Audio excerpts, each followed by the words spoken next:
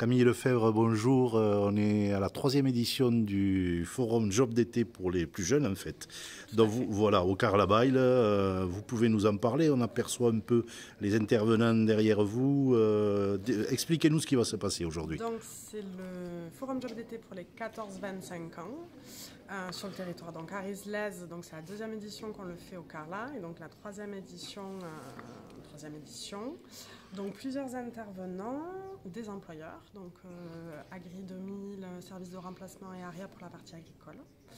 Euh, Léo Lagrange pour toute la partie animation. Et ensuite, vous avez euh, un stand sur les offres pour l'emploi du territoire, le service civique, la région qui est aussi présente avec toute la partie orientation, formation, alternance pour les jeunes. un stand sur le BAFA, la formation babysitting qu'on organise également sur le territoire.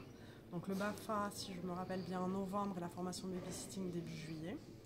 La mission locale aussi est présente qui font des permanences sur le territoire, sur la LASE et sur la RISE. Et ensuite, vous avez l'info jeune qui présente tous les dispositifs jeunesse, donc euh, comment trouver un logement, euh, comment euh, avoir des bourses, partir en vacances, des choses comme ça et un atelier CV, lettres de motivation et un stand pour boire un café. D'accord. Voilà, euh, euh, les, euh, les, intervenants qui sont là.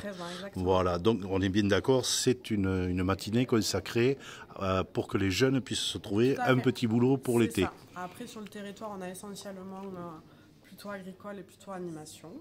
un petit peu en tourisme. vous avez par exemple l'Authentique qui embauche. Euh, et à Domazan aussi, sur la partie touristique. Et donc il y a des offres, les offres sont affichées. Euh, et voilà. Euh. Donc c'est bien, bien, sur le territoire arizelais. Ouais, sur le territoire arizelais, même si on a mis des offres un peu plus loin, comme par exemple à Alzin. Il y a beaucoup de services civiques là, par exemple à Alzin.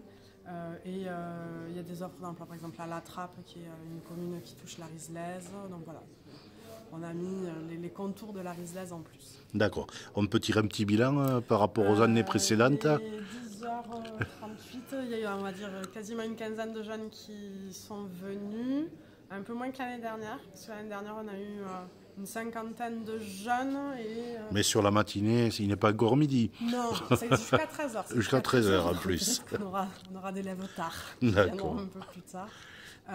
oui, un peu un petit peu moins que l'année dernière. Et au, niveau des, intervenants, vous avez eu des retours par rapport à ce qui s'est passé l'an dernier avec les jeunes embauchés euh, Surtout euh, le service de remplacement à agricole, ils étaient très, très contents. On leur a envoyé plus de 35 CV.